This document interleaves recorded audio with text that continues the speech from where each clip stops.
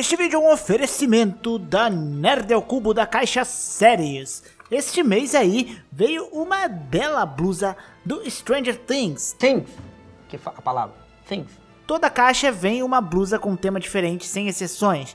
Veio um belo pôster do Vikings, que como vocês podem observar já está aqui no nosso cenário. Veio um cubo aí do Mr. White. Veio uma caixinha do Bazinga, que ao mesmo tempo serve como amplificador para você encaixar o celular ali, ele amplifica o som. Fora isso ainda vem com algumas coisas para você guardar dentro.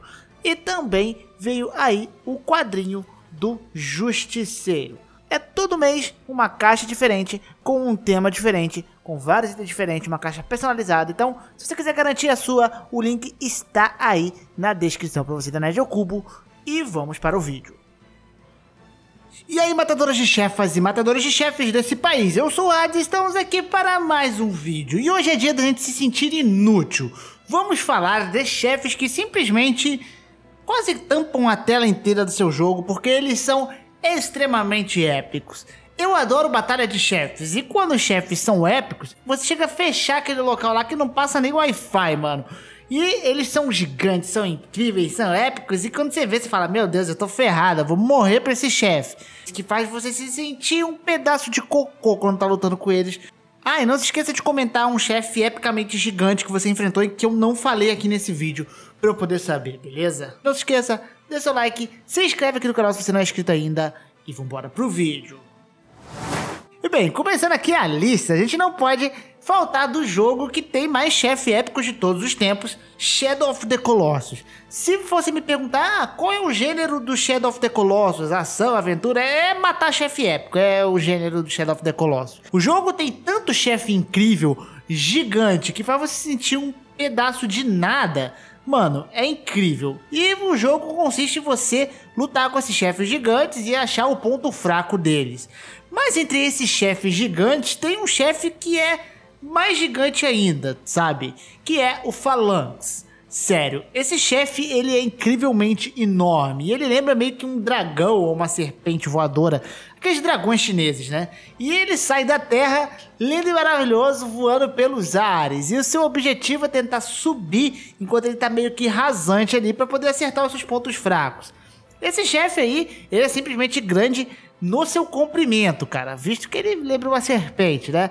E quando você anda por cima dele, parece que você simplesmente está andando por uma fase inteira, porque você está andando aquele caminho inteiro à procura ali do seu ponto fraco e você vê que ele é realmente de proporções enormes. Então, esse chefe aqui é um chefe épico, gigante e o maior chefe, sem dúvidas aí, do Shadow of the Colossus, mano.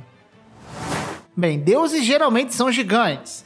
E no God of War você basicamente chuta o popô de Deus. Então, bicho gigante aqui é o que não falta. Mas, pra mim, o maior chefe de todos é o Cronos do God of War 3. E ele é simplesmente enorme porque ele é uma das primeiras deidades, é o deus do tempo, ficou preso no Tártaro, né? Tretou com seu filho Zeus. E aí ele tá lá pagando a sua penitência e você vai se meter com ele, é óbvio, né? Quem que o Kratos não entra no caminho? E aí ele te pega ali na mão, parece que ele tá pegando num piolho, velho, numa formiguinha. Chega a dar nervoso, que você fala, mano, sério que vai dar pra lutar com isso aqui, velho? Tipo, o Kratos segura uma palmada. Imagina você vai matar um mosquito no seu braço, você bate, o mosquito começa a te levantar a sua mão, mano. É isso que o Kratos faz. E como se não bastasse essa luta épica com esse chefe gigantemente enorme, o Kratos ainda dá um rolê no sistema digestivo desse chefe, sai por dentro para fora e ainda consegue derrotar ele, estourando a espinha na testa dele. Cara, é bizarro essa luta e você vê como o Kratos é incrivelmente forte. Quando ele enfrenta um ser desse tamanho, ainda consegue segurar os golpes, mano. Ó, muito louco. Mas talvez aí um cara que talvez fique lado a lado com Kratos, no nível também Boss Fight, seria o jogo Azura's Wrath. Esse jogo é um cara muito chateado com a vida, ele tá sempre muito chateado mesmo, ele sempre tá gritando pra caramba. E uma par de chefes gigantes que também são deidades. Então tem chefes ali que só, tipo, atira planeta em você. Você ver o nível do tamanho dos chefes desse jogo. E aqui a gente tem um, que é o Gogen Wisen. Esse chefe, velho, Mano, ele é, é absurdo, é absurdo, parece até zoeira.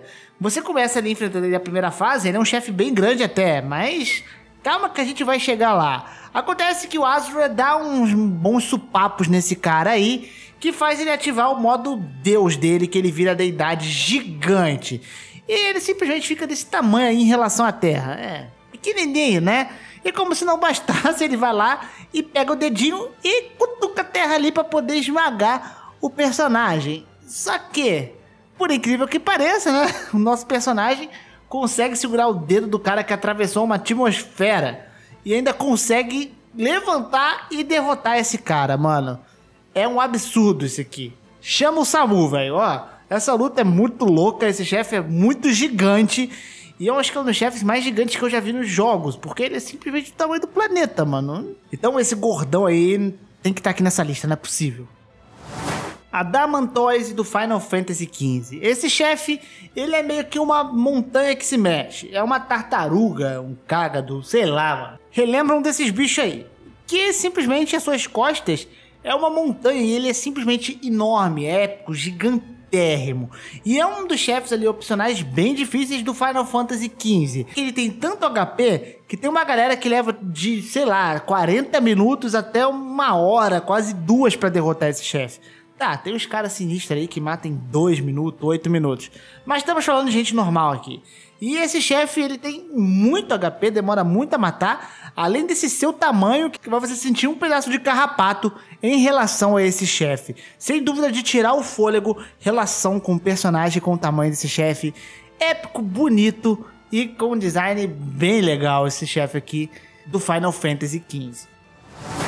E temos aqui o Angels, que é uma classe de robô gigantérrima presente em Nier Automata. E o primeiro chefe ali que a gente enfrenta, grandioso, épico, gigantérrimo. Essa máquina chega a dar até um pouquinho de medo com seus ataques gigantes, aquele braço enorme que parece que vai te estraçalhar. E o chefe ele chega a ser tão grande que inclusive há momentos que você anda ali por dentro dele, como se fosse realmente subir numa torre, passando por um momento de um cenário, para poder conseguir chegar nos objetivos. E são várias artimanhas que o jogo te dá para poder enfrentar esse chefe, porque só no mano a mano não é uma coisa muito fácil. E aí, esse chefe te assusta, você acaba apanhando para ele e também às vezes você fica distraído com a 2B, né? Acontece. Aí, junta tudo aí, essa coisa épica aí com outra coisa épica, e é uma loucura.